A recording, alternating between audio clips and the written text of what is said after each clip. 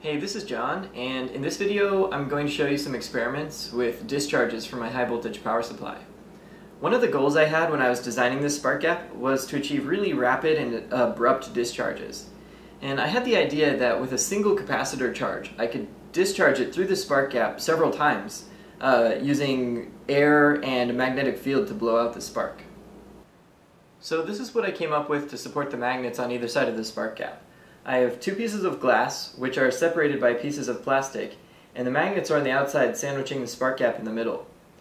This works really nicely because the glass works as an insulator, preventing the magnets from being used as a conduction path, and there's still plenty of room for airflow.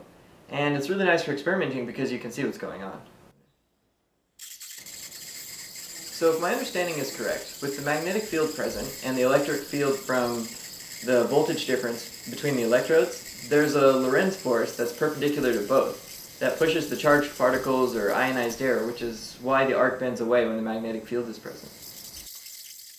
Here it's running with just one of the magnets, so you can see how the magnetic field affects the spark.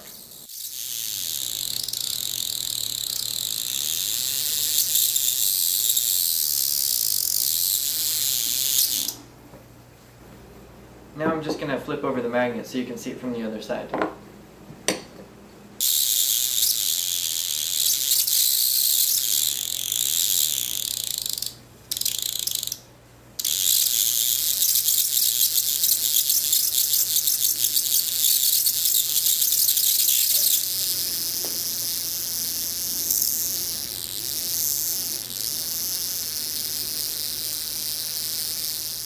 So next I want to show you the effect of air over the spark gap.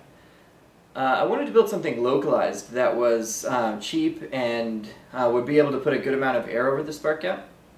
So I took a PC fan and just to see if it would work I taped some paper to it and uh, I wanted to see if I could get a higher pressure out of a small hole but it didn't work very well. As you can see here there's barely enough air to, to push these strips of paper but even this little bit of air actually makes a big difference when it comes to the spark gap.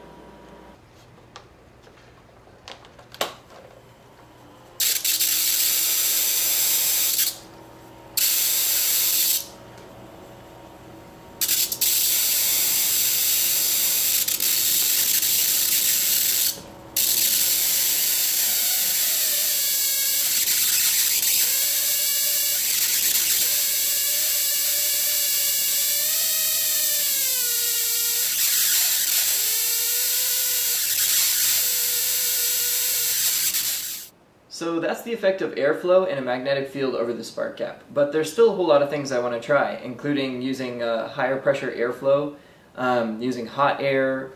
Uh, I want to have the spark gap in a, in a vacuum and also in pressurized air. And I want to try using liquids as a dielectric and even compressed liquids. Um, but for my next video, I'll just hook up a capacitor and show you how those discharges are affected.